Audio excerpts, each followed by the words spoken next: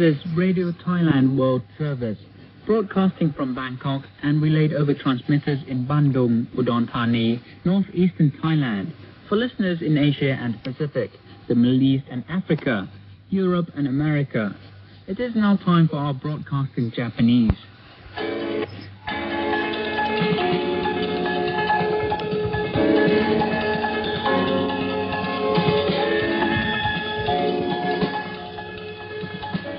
ちらはラジオタイランドの日本語放送です。この放送はうどん谷県バンドゥンのボイスオブアメリカの送信所を通じてお送りしています。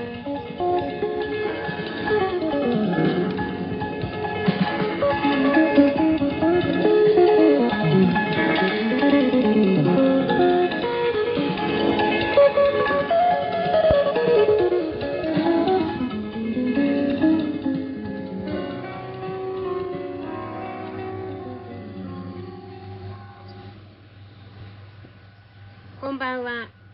こちらはラジオタイランド日本放送です。ラジオ聴きの皆様、いかがお過ごしでしょうか？それでは本日お伝えしますニュースの項目です。今年7月にバンコク・ビエンチャン間の鉄道が開通する計画です。カンヌ国際映画祭で外国人スタッフからタイでの映画撮影に高い興味が示されました。鈴木撤退でセーター首相は他のメーカーは追従しないと主張しています。タイ人の魅力を世界に伝えるためソフトパワーフォーラムが開催されますそれではまず初めのニュースです今年7月にバンコク・ビエンチャン間の鉄道が開通する計画です。タイ国有鉄道とラオス国有鉄道は7月のバンコク・クルンテープ・アピワット中央駅からラオスのビエンチャン駅までの開通に向けて準備を進めています。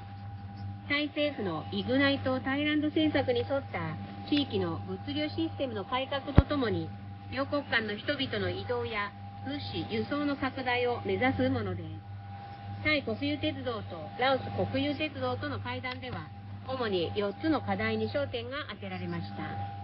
1、7月13日から14日に予定されている試運転の計画です。クルンテープアピワット中央駅からうどん谷、ノンカイを経由し、ビエンチャン駅までの運行が計画されています。2、観光市場開発計画。3、広告広報計画。4、タイ、ラオス、中国間の貨物輸送の可能性を高め、国境を越えた貨物輸送について話し合う共同作業部会の設立について話し合いが行われました。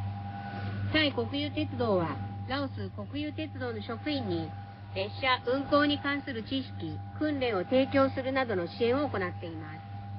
運転手、駅員、切符売りなどの指導や、今年5月末には、うどん谷駅、ノンカイ駅、タナレイ駅、ビエンチャン駅間の列車運行に関する試験も行われました。今回のバンコク・ビエンチャン間の列車運行開始は、両国間の重要な協力が拡大した証だとして歓迎されています。現在列車はラオスのタナレイ駅まで運行されており、ビエンチャン駅までフルサービスが提供できるようになれば、莫大な経済、交易、観光の利益が生まれると期待されています。飛行機を利用する乗客は、うどん谷空港まで移動し、そこから列車でビエンチャンまで移動することが容易となります。ラオスまでの鉄道運行は、タイを観光と物流のハブにすることを目指す政府の政策の一環として進められています。次のニュースです。カンヌ国際映画祭で外国人スタッフからタイでの撮影に高い興味が示されました。観光スポーツ省外国映画映像局は5月にフランスのカンヌで開催されたカンヌ国際映画祭に出展したブースにタイでの撮影に興味を持つ人が多いことを報告しました。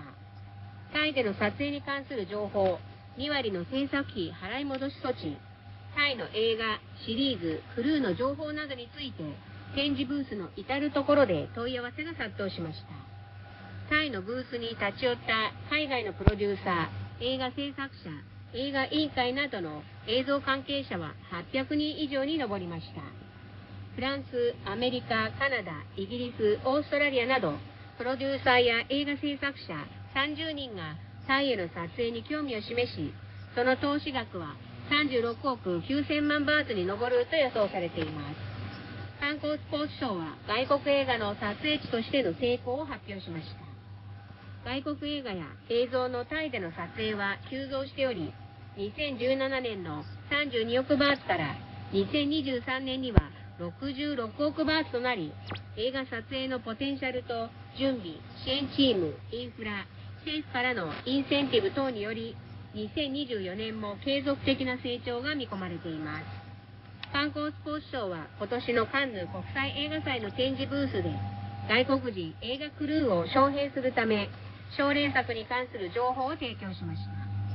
これには自然や国立公園歴史的な場所タイの伝統や文化的な場所など様々な撮影場所が含まれています。ナコンラザ島県からも協力を得てビデオクリップで海外の映画スタッフに県内のロケ地が紹介されました。タイの展示ブースではオープニングセレモニー世界的な撮影地としての成功例の発表映画プロデューサーやアジア映画委員会ネットワークを招待してパーティーを開催したり様々な活動を実施しました。外の映画関係者からはタイでの撮影に関する問い合わせが増えました。また観光スポーツ省観光局では文化省と協力し毎年カンヌ国際映画祭で展示ブースを設けタイ映画産業の可能性をアピールするとともにタイが世界有数のロケ地であること映画ビジネス観光ビジネス関連ビジネスに優遇措置があることなどを説明しています。タイで撮影された外国映画を通じてタイソフトパワーのアイデンティティと文化を世界中の視聴者の目に広めています。次のニュースです。鈴木撤退でセター首相は他のメーカーは追従しないと主張しています。鈴木がグローバル生産体制の見直しの一環としてタイの四輪子会社鈴木モータータイランド社の工場を2025年末までに閉鎖するのを決めたことについてセター首相は他の自動車メーカーが追従してタイから引き上げることはないと確信していると述べました。タイ政府は電気自動車メーカーの誘致に積極的で今後タイでも電気自動車の販売が拡大する見通しですがセーター首相によりますと政府は日本の自動車メーカーによるエンジン車生産を重要視している。また政府はトヨタ、ホンダ、イスズ、マツダ、三菱などの自動車大手と話し合いを行っておりこれらメーカーによる今後のタイへの投資の拡大に手応えを得たと説明しています先にスバルがタイからの生産撤退を発表しており、来年からは日本から完成車を輸入して販売する形に切り替えるとしています。自動車業界関係者によりますと、タイには自動車関連の事業所が137カ所あり、合計3万9321人ほどが雇用されていますが、エンジン車から生産が比較的容易な電気自動車へのシフトが進むことで、必要とされている労働力が減少して失業が増加することが懸念されています。次のニュースです。タイ人の魅力を世界に伝えるためソフトパワーフォーラムが開催されます。6月28日から30日にかけてバンコクのクイーンシリキッドナショナルコンベンションセンターで CHA、CCA、フラッシュソフトパワーフォーラム2024が開催されますこれは政府が主催する初の国際ソフトパワー会議です。ファッション、音楽、映画、食品など様々な業界から世界的ブランドに成長した企業の代表がそのビジョンを語ります。食、スポーツ、フェスティバル、観光、音楽、本、映画、ゲーム、アート、デザイン、ファッションなど11の産業からインスピレーションを得てタイの政策や目標の全体像を紹介する展示も行われます。タイ独自の文化や社会的スキルを通じて国際的なステージに発信していきます政府はタイの文化が多くの経済的付加価値を生み出す可能性があるとしタイ人が収入を増やすためにその可能性を見いだせるよう様々な産業をグループ化し支援しています。ソフトパワー政策も中所得の国から高所得の国へ発展を後押しする重要な武器でありタイ文化の魅力、タイ人の魅力、タイ人の能力を世界に知ってもらいたいと考えています。重要な戦略は人々の潜在能力を開発するスキルアップ。一つの側面だけを発展させてもシステムは形成されず政策や政府が変わった時に消滅しないよう11の産業全てを発展させること。外国がタイの魅力を受け入れやすくタイの文化を理解しやすいように外国人向けの政策を発展させることとなっています。ソフトパワーフォーラム2024はタイ独自のソフトパワーで世界の目をタイに向けさせる重要なイベントとなると期待されていますそれでは本日お伝えしましたニュースの項目を繰り返します今年7月にバンコク・ビエンチャン間の鉄道が開通する計画ですカンヌ国際映画祭で外国人スタッフからタイでの撮影に高い興味が示されました鈴木撤退でセター首相は他のメーカーは追従しないと主張していますタイ人の魅力を世界に伝えるためソフトパワーフォーラムが開催されます。以上ラジオタイランドの小島秀美でした。ごきげんよう。さようなら。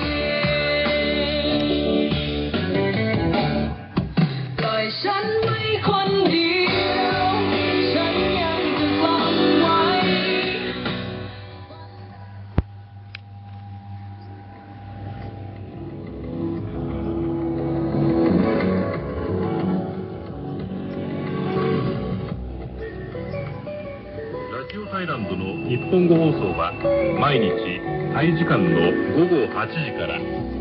日本時間の午後10時からそして GMT では13時から15分間放送しております。これで本日の放送は終了いたしました。